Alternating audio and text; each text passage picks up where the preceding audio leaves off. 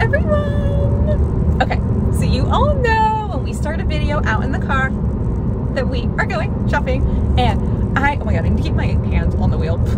I am so excited because we are not doing the usual bit where we go down to like the regular old, like, not regular, but like, we are not going down to the shops that I usually take you to in Union Square in San Francisco.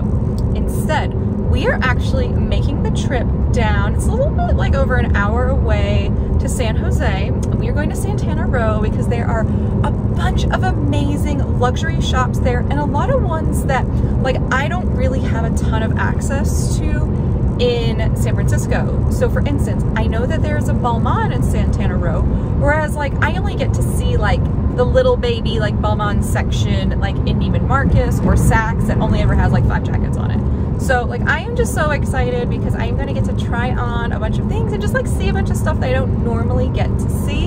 So I am really looking forward to it.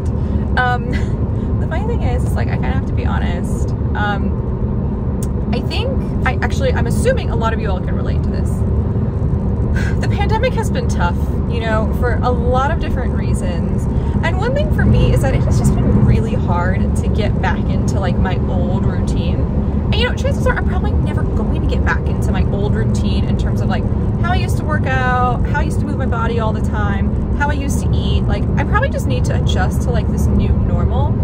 But it's hard because I am literally the heaviest I've ever been. Like today, I stepped on the scale and I saw a number that I have never seen before. So like, it's just hard, right? And like, I don't know if I'm trying to stuff this body into a bunch of clothes like and film that today.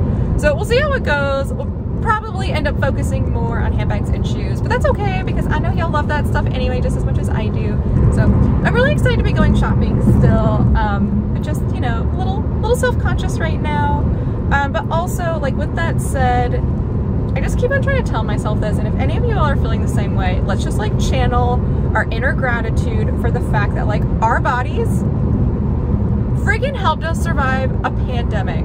I do not care if you gain 100 pounds or whatever, your body has worked miracles, so I just gotta keep telling myself that. So, anyways, inspirational TED Talk aside, let's see what we find. Okay, so I need to correct myself because I realized this happened last time I came here too, which shows you how little I know about San Jose.